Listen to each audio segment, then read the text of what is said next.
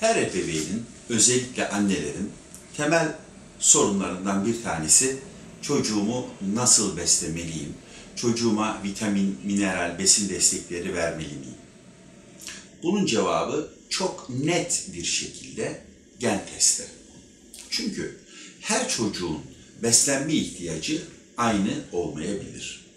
Çocuklarımızın genetik yapıları, onların ne tür sebzelerden, ne tür meyvelerden, ne tür proteinlerden zengin beslenmesi gerektiği konusunda bize bilgi verir.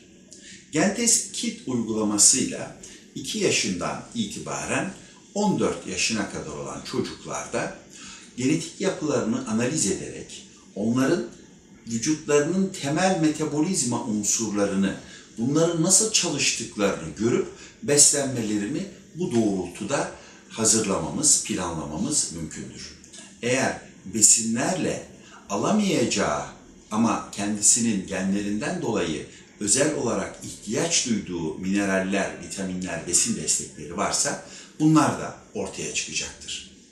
Böylece çocuğunuzu genel geçer, herkes için söylenen şekilde değil, onun ihtiyaç duyduğu, onun yaratılışına, onun evrimsel gelişmesine uygun bir şekilde beslediğimizde hem sağlığının gelişmesini, hem okul başarısını, hem sportif başarısını, hem zeka gelişimini optimum şekilde tutacak, onu kendi potansiyelinin sınırlarına kadar taşıyacak bir şekilde beslemiş oluruz.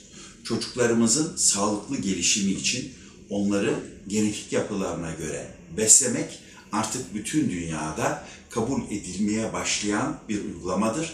Yakında bütün beslenme planları bunlara göre hazırlanacaktır. Siz geç kalmayın.